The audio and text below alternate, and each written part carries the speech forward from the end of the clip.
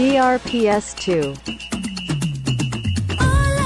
May Our Lady of the Pilar guide and protect all of us as we work towards a brighter future for our city. Unikita y celebra el Diatun Fiesta na nombre del Diatun Nuestra Señora la Virgen del Pilar. Happy Fiesta Pilar!